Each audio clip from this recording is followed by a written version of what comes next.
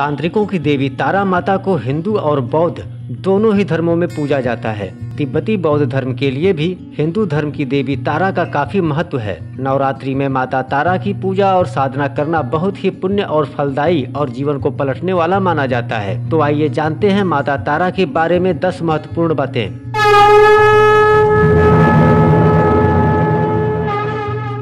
माता सती की बहन सती माता ने ही पार्वती के रूप में दूसरा जन्म लिया था। माता सती राजा दक्ष की पुत्री थी।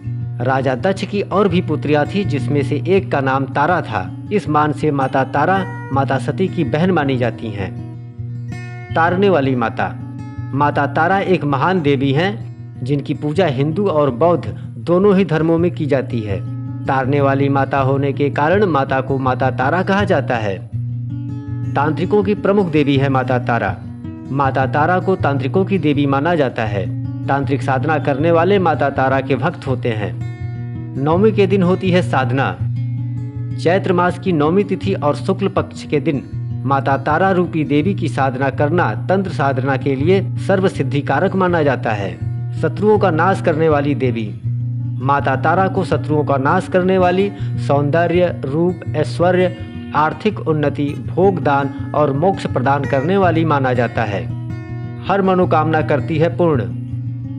जो भी साधक या भक्त माता की मन से प्रार्थना करता है, उसकी कैसी भी मनोकामना हो, वह तत्काल रूप से पूर्ण हो जाती है। तांत्रिक पीठ। तारा पीठ में देवी सती के नेत्र गिरे थे, इसलिए इस स्थान को नयन तारा भी कहा जाता है। यह पीठ पश्चिम बंगाल के बीरभूम ज़िले में स्थित है, इसलिए यह स्थान तारापीठ के नाम से विख्यात है। ऋषि वशिष्ठ ने भी की थी साधना। प्राचीन काल में महर्षि वशिष्ठ ने इस स्थान पर देवी तारा की उपासना करके सिद्धियाँ प्राप्त की थी। इस मंदिर में वामा खेपा नामक एक साधक ने भी देवी तारा की साधना करके उनसे सिद्धियाँ हासिल की थी। तारा देवी का दूसरा प्रमुख मंदिर।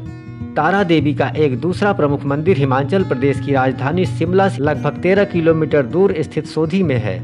देवी तारा को समर्पित यह मंदिर तारा पर्वत पर बना हुआ है। भगवती तारा के तीन स्वरूप हैं तारा एक जटा और नील सरस्वती।